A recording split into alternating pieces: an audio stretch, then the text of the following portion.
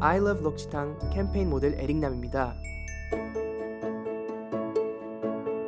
가족, 친구, 사랑하는 이에게 선물하기 좋은 록시탕 시어버터 솥.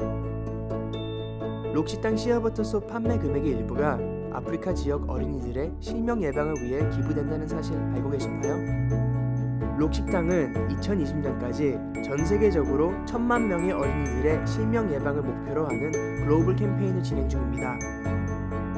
더 많은 어린이들이 아름다운 세상을 볼 수 있도록 록식당으로 당신의 따뜻한 마음을 보여주세요.